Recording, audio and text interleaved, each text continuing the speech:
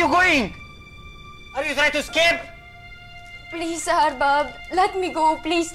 Uh, there's been a mistake. My, my recruiter, nagkamali siya. Hindi ho ito yung pinirmahan kong trabaho sa kontrata. I don't care about what you say. You are my own now. I pay it 20,000 dirham to your recruiter. Then, back it to me. I will set you free. Ano? Ako na nga yung binenta nyo dito, tapos ako pa rin yung may utang? Napaka... Napaka-paano sa may ko!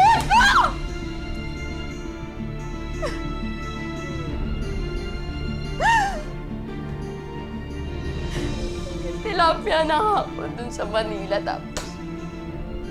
Pagdating dito, pag titilapia, pa rin yung gagawin ko.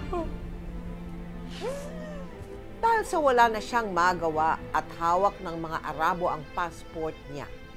Pikit matang naging sex slave na nga sa bansang iyon si Grace.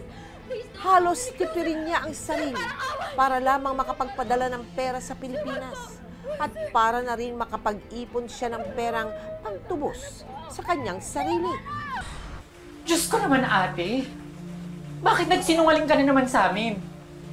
Alam mo kung hindi pa sa amin nagsumbong yung taga-gobyerno na yan, hindi namin malalaman na may nangyayari sa masama dyan sa abroad.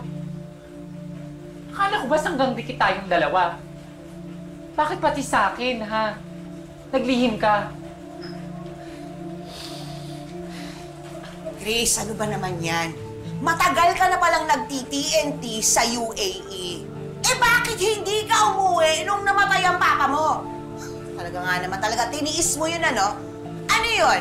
Katulad ka ng ibang mga nag-a-abroad na hindi marunong lumingon sa pinanggalingan? Eh baka naman kasi, Nay, nag-e-enjoy na siya doon. Kasi di ba may karelasyon siya? Ano nga rin pangalan nun? Khalil?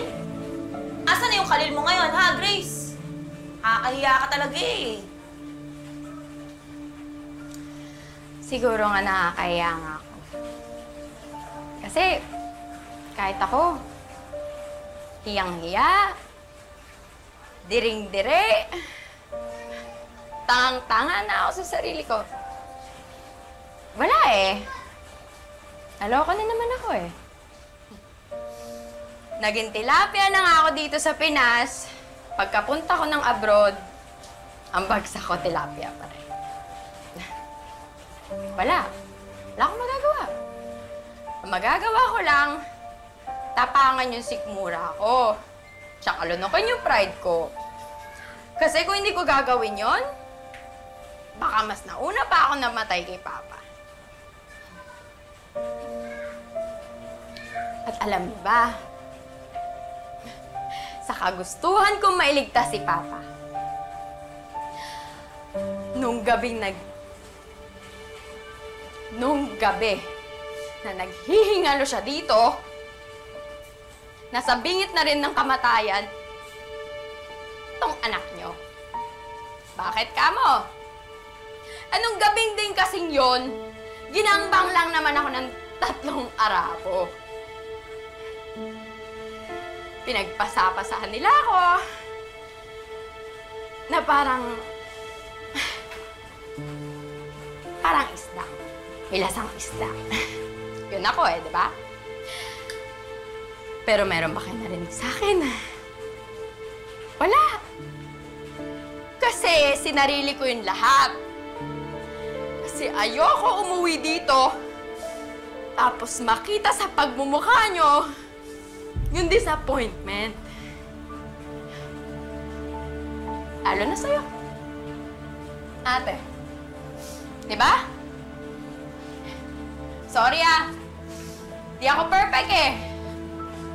Ang kakapal ng mukha ninyo.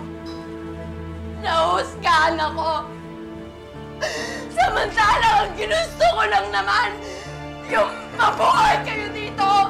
Kahit ako, unti-unti na ako pinapatay doon sa ibang bansa. Wala kayong alam. Wala na lang patayin ko na yung